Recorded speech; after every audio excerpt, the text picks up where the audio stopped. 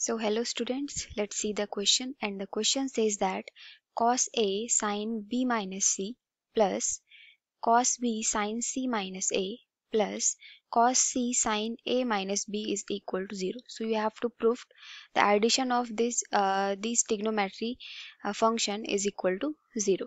Okay, so let's start the solution. So the key concept for this question is key concept is uh, you have to know uh, sine a minus b is equal to कितना होता है sin a minus b that is cos a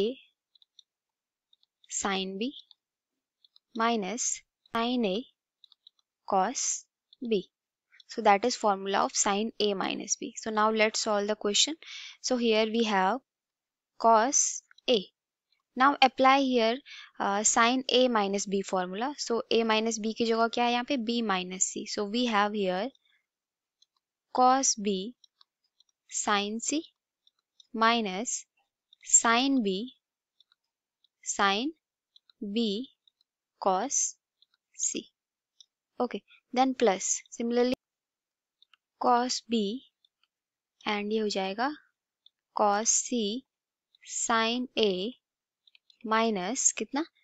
Cos A sine C. Similarly here again plus cos C then cos A okay sine B minus यहाँ पे क्या हो जाएगा? Sine A cos B okay after opening this brackets we have cos A cos B sine C minus cos A sin C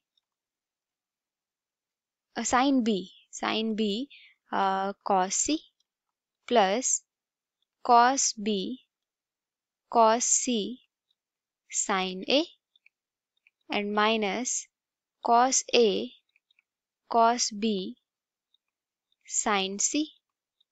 And plus we have here cos A sin B cos C and at the last sin A B cos C. Okay, now uh, we can see here cos A cos B sin C. cos A cos B sin C cancel out क्योंकि अब एक positive sign का एक negative का है तो cancel out हो जाएँगे similarly sine A cos B cos C sine A cos A cos B cancel out negative positive है. Similarly this last term will be cancelled out because opposite same आपके पास identity है, लेकिन opposite sign है. So answer will be zero okay so that will be so I hope so I hope you all understood this explanation thank you and all the best